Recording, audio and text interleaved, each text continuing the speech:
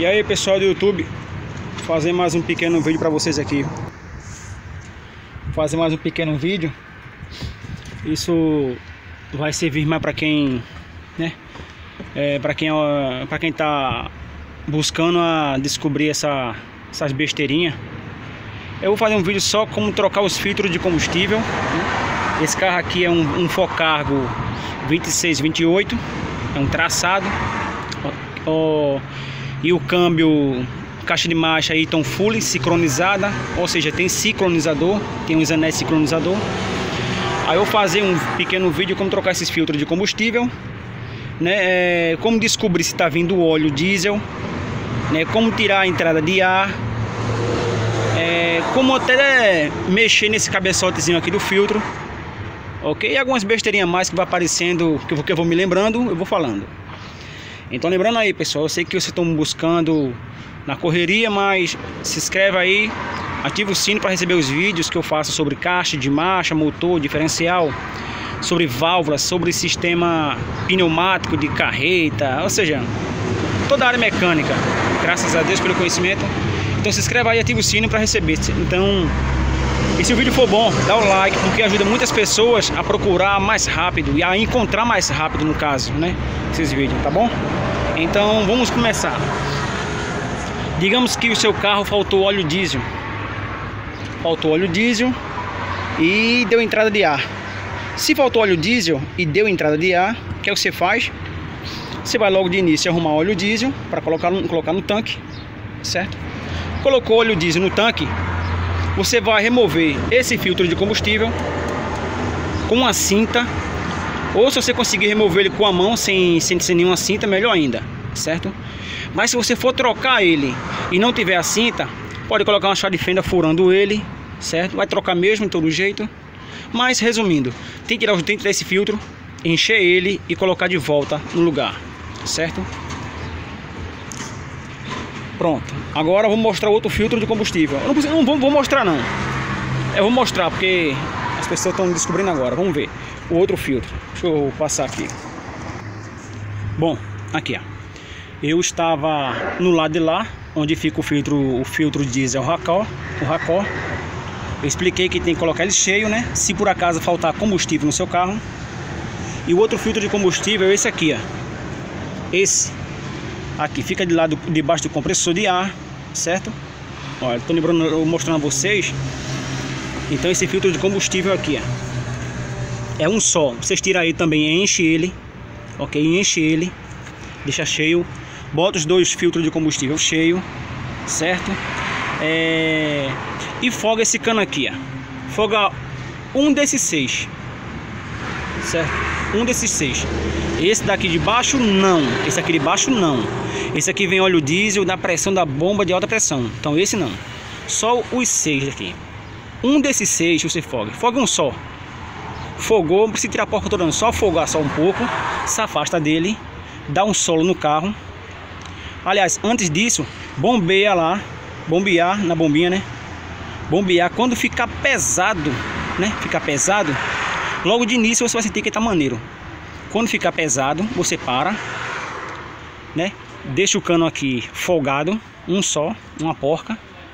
Funciona o carro, dá um solo, até sair óleo. Sai o óleo aqui, com uma pressãozinha, você desliga ele para, para dar o solo, aperta o cano e funciona ele, certo? Se ele não pegar, folga folga esse mangota aqui mesmo com a 11, essa braseira aqui ó, com a 11, afasta ele, não aqui não, me desculpe, aqui não, aqui é mais fácil. Tira esse mangote aqui ó, que é o mangote do, do, do ar, do compressor de ar, folga aqui, tira ele, bota limpa contato ou antilube para poder ele pegar mais rápido certo?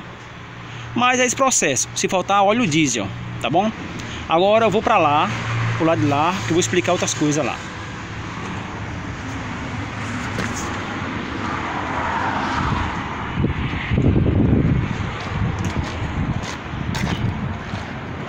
Pronto. Aquele processo que eu falei é sobre trocar os filtros de combustível se por acaso faltar óleo diesel no tanque, certo? Aquilo é uma forma. Agora digamos que você é, seu carro tá ruim de pegar, tá dando bronca no outro dia de manhã, né? Possa ser também um, uma dessas causas, né? Um, um desses problemas que eu vou falar. É, seu carro, quando está com o tanque cheio, pega melhor, fica muito bom, pega fácil. Quando, quando o óleo está se acabando, está na metade do tanque, ele fica ruim de pegar. Quando isso acontecer em qualquer carro, em qualquer carro diesel, qualquer carro diesel, caminhão principalmente, né? Caminhão principalmente porque os tanques é grande e tem as boias muito grandes, os canos longos, certo? É, se por acaso, quando o tanque está cheio, você funciona, ele pega normal, anda, tudo, tudo, tudo, tudo, tudo ótimo, certo? Mas quando ele está meio, ele começa a dar esses problemas. Começa a dar esses problemas ruim de pegar, dá muito solo e às vezes não pega. Às vezes não pega. Então, tem a possibilidade de ser a boia. A boia, ou seja, o pescador, certo? Tem a possibilidade de ser a boia ou o pescador dos tanques de combustível de qualquer carro a diesel, principalmente os caminhões, né? Os caminhões, qualquer caminhão tem, tem a possibilidade de ser a boia, porque o tanque está cheio. Aí o que, que, acontece? A boia puxa normal. Se a boia ou o pescador tiver com o cano furado, digamos o cano, o cano ele, ele é grande, né? Digamos ele está furado aqui, ó, no meio. Quando o óleo diesel passa dele, então quando o caminhão começa a puxar o óleo, puxa o óleo com ar, porque está furado, né?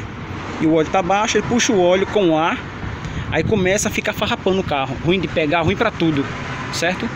Então logo de início olha a boia nessa questão, né? Se tiver o tanque cheio, tá bom de pegar. Quando o tanque tá meio, fica ruim de pegar. Isso serve para qualquer carro. Volvo, Scania, Mercedes, Volkswagen, qualquer um, for cargo. Acontecer isso, é esse processo, ok? Agora digamos que você está bombeando e no outro dia de manhã, na parte da manhã, é, você dá muito solo para esse carro pegar, esse carro, esse modelo, esse 26, 28 for cargo. Tem a possibilidade de ser, sabe o que? Esse cabeçote aqui, ó. Esse cabeçote, você para descobrir o que, é que acontece. Você tem que tirar esse filtro aqui, é filtro diesel. Logo de início, né? Vai logo nele que é mais fácil. Tira o filtro diesel, ou o filtro racó mesmo. Tira ele. Quando você for olhar aqui embaixo, tem uma borrachinha, uma borrachinha sendo pressionada por uma, por uma lâmina, uma lâminazinha, uma latinha de pressão ela tem uma pressãozinha que ela fica pressionando a borracha para fazer a vedação, ok? Agora se você, quando você for olhar e ver que a borracha estiver cortada, então a possibilidade ou você procura outro cabeçote usado para tirar essa borracha, ou você compra outro novo, certo? Mas se você for tirar aqui e viu que a borracha está inteira, o que, é que você faz? Dá mais uma pressãozinha na mola, é só forçar um pouquinho a mola. Você tira essa, essa molinha ou latinha com a chave, com a chave Phillips, tirando ela, dá uma pressãozinha na mola Coloca de volta, apertou certinho. Analise bem na hora que for tirar para ver a posição, para não, se preocupar. É fácil, é fácil, mas tem que olhar, analisar a posição. E depois coloca o filtro diesel no lugar, bombeia tudinho, certo? Essa é mais uma questão. Agora digamos que o carro está ruim de pegar com o tanque cheio, com o tanque vazio, meio, sei lá, de todo jeito. O que, é que você faz? Logo de início, você vai chegar nesse modelo de carro, né? Você vai tirar essa mangueira, né? Porque ela vem do tanque, ó. Você vai tirar ela aqui, ó. É, deixa eu mostrar você, já ficou até difícil. Pronto, deixa eu mostrar aqui. Não sei se vocês estão vendo aqui, ó. Deixa a câmera ajudar, pronto. Tá vendo isso aqui? Isso aqui, ó. Tem uma partezinha aqui que você bota a chave de fenda. E esse negócio, esse negocinho aqui, esse ressaltozinho, ele sobe. Quando ele sobe, ele destrava a mangueira, certo? Aqui é o biquinho, ó. Aqui é o biquinho dele. Se você empurrar assim, ó. Aí já foi, ó. Eu mexi aqui já foi, ó. ó. Tá vendo que ele tá indo? Essa travinha, essa travinha aqui, ó. Até com a chave de fenda você força ele. Quando você fizer assim, pode tirar também essa trava, pode tirar ela ou afastar ela. Aí é só desencaixar a mangueira, certo? Mas essa daqui não. É só explicando sobre a braçadeira. Aquela braçadeira é a mesma daqui, certo? Então você tira a braçadeira, puxa para cá a mangueira e bota a boca aqui na mangueira e puxa óleo, vê se tá vindo óleo. Se você vê que tá vindo óleo, que tem óleo no tanque, ele tá puxando normal, coloca de volta. Por quê? Porque já não é a mangueira. A mangueira tem óleo, no tanque tem óleo, tá puxando normal. Certo? Isso que eu tô falando agora, se por acaso der uma entrada de ar e o carro tiver ruim de pegar de todo jeito. você tem que ver logo se tem está vindo óleo do tanque. Tirando aqui. Tirou aqui, tá vindo óleo, coloca de volta. Tira os filtros de combustível, enche eles, né? Bombeia, vê se tem algum vazamento. Deixa eu ir lá pro outro lado, ver se eu mostro alguma coisa para vocês.